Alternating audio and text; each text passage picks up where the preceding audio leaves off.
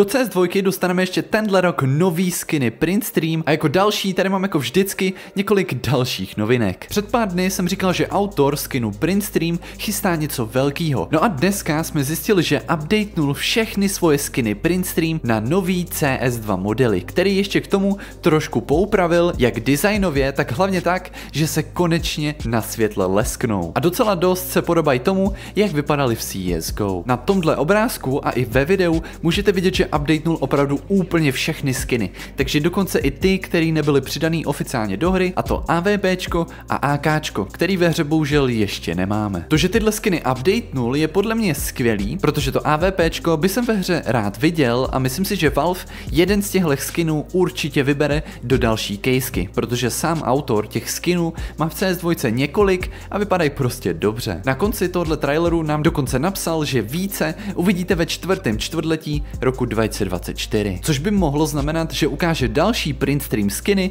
na ostatní zbraně, anebo něco úplně novýho, co jsme zatím ještě neviděli. Docela dost lidí taky u něho v komentářích a všude možně píšou, že jsou ty skiny o dost víc tmavší. Nevím, jestli to vidíte, ale s porovnáním s těma, co máme teď, jsou opravdu takový dost tmavý. On ty skiny může samozřejmě ještě trošku pozměnit, plus to video má na sobě několik filtrů a je to podle mě hlavně tím editem. Protože když se podíváte na tenhle screenshot, který je přímo ze hry a vyfotil ho on sám, vypadá ten skin úplně jinak a hlavně mnohem líp. Určitě se mě taky budete ptát, jestli si myslím, že cena těchto skinů stoupne. A za mě jo, a to na 100%. Hlavně ne, nejsem žádný finanční poradce, ale jestli tenhle skin máte, tak si ho doporučuji nechat, protože i když to Valve bude trvat dlouho tyhle skiny updatenout, ta cena podle mě určitě poletí nahoru.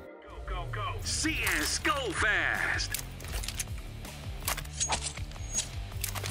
withdrawal.